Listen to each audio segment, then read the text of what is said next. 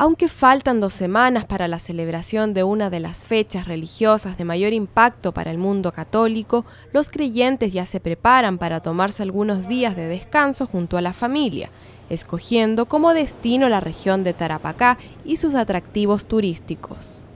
Es por ello que en los hoteles y agencias de turismo ya existe un alto porcentaje de reservas.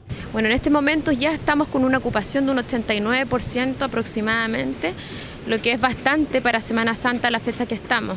Yo creo que el fin de semana vamos a estar en un 100%, tanto de pasajero nacional, de la segunda región Calama, Antofagasta y también Argentina. Mira, para Semana Santa nosotros ofrecemos por medio de Cernatur un paquete turístico que son de varias excursiones y ya tenemos algunas reservas para Semana Santa. Hay habitaciones singles, dobles y matrimoniales, triple y cuádruple. Varía entre los 18 y los 52 mil pesos. Son con baño privado, incluyen el desayuno. ¿Y por lo general para Semana Santa estos precios suben o se mantienen? Se mantienen.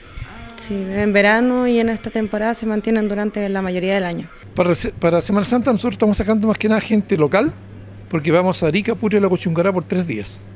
Ya tenemos la mitad del, del vehículo prácticamente, de 18, lo tenemos prácticamente vendido, la mitad. Estamos esperando otras inscripciones, que es gente que hizo reserva y va a volver este fin de semana. Y a la vez hemos recibido reservas de gente del resto del país, pero para tours locales acá. O sea, digamos, Salitrera, Geolif, Oasis de Pica, Matías, Tirana, que es lo más tradicional.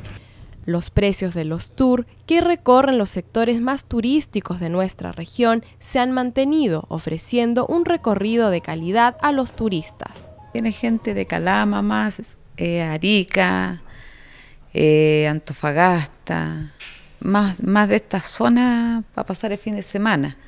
De acuerdo a las proyecciones de movimiento interno para el fin de Semana Santo, este 2013 se moverán de sus hogares 2 millones de chilenos. Hemos de esperar que buena parte de ellos recorran los atractivos de la región de Tarapacá. Y lo de atrás, mucha gente vuelve exclusivamente por esto.